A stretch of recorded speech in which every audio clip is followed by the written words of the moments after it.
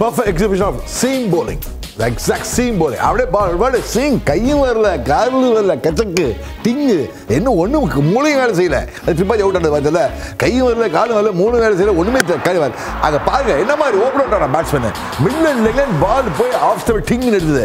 அடுத்து வைபூரா பாரு leg outside extent pitch பண்ணி கச்சக்கு out off stump across across the body and amazing bowling இது வந்து ஷார்ட்டா இது என்ன சொல்வேன்னு தெரியல யோமே ஹேஷ். இது நான் நான் நான் தான் சுற்றுவேன் ஆனால் இது வந்து கச்சாமுச்சா சுத்து காட்டா சுத்துன்னு மாத்துமா? இது பேர் தான் காட்டா சுத்து பேர். பட் இது பார்த்தா இது என்ன மாதிரி லைன் லைக் பாரு ஹர்ஷித் ராணா. ரொம்ப இம்ப்ரெஸ் திஸ் பாய் நீ என்ன நினைக்கிற? யோமே யோமே கண்டி டேக் ஓவர் கண்டி கண்டிப்பாங்க I think execution of lengths இன்னைக்கு பர்ஃபெக்டா இருந்தது. வருண் சக்கரவர்த்தி லேட்டா தான் வந்தாரு பட் அவரோட முதல் ஓவர்லயும் ஷபாஸ் அஹமத் அவரோட விக்கெட்டை இழந்தாரு. ஒரு மாதிரி பார்ட்னர்ஷிப்ஸ் எதுவுமே யாருமே பண்ணல. பாருங்க அதே லைன் அதே லென்த் எவ்வளோ எவ்வளோ பேட்டர்ஸ் வந்து அந்த பேட்டை விட்டு காட் பேண்ட் ஆனாங்க.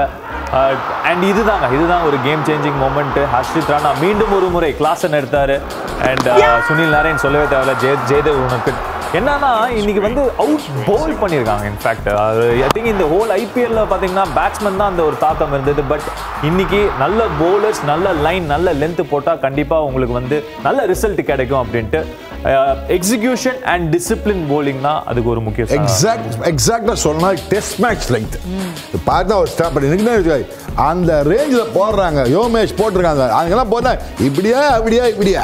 இங்க டிங்க டிங்க டிங்க. ஜங்க டிங்க ஜங்க அதான். ஸோ என்னன்னா அந்த டெஸ்ட் மேட்ச் அங்கே பாருங்க. அதே தான் நான் சொல்லிடுவேன் டெஸ்ட் மேட்ச் லெங்க் பாருங்க. Just short of length front guy no swing two point four degrees இதெல்லாம் எல்லாம் காமிப்பாங்க. யோ ஆனால் நாங்கள் பேட்டிங் அடிச்சு லெக் ஸ்டெம்ல அடிச்சு அப்படியே ஓப்பன் அவுட் ஆகிடுவோம் பேட்ஸ்மேன் டபக்குன்னு. இந்த batsman gets open out as an opening நான் இந்த மாதிரி நிறைய டவுட்டாக இருக்கு அதனால தெரியும் எனக்கு.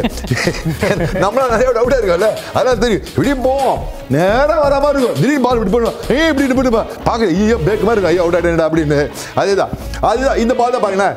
எங்கே நிற்கிறா பாருங்க. டிராவிசன். லெக் சைடில் ஆடிட்டு இருக்கான். Leg side outside leg side பிச்சாது ball உள்ள பால் சிங்காது அவன் பாரு எங்கேயோ ஆடிட்டு இருக்கா தேவடி தேஷ்டப்பள்ளி கச்சக்கு காலி ஆஹா. இந்த மாதிரி அடிச்ச ஆனால் நிஜமாக சொல்கிறேன் ஒரு ஓப்பனிங் பேட்ஸ்மேன் அடிச்சு இந்த மாதிரி அவுட் நான் அவுட் ஆனச்சோ வரிசையாக வெக்கமாக இருக்கும் பார்க்குறதுக்கு அசிங்கமாக இருக்கும். அசிங்கப்படுத்திட்டாங்க பார்த்தீங்க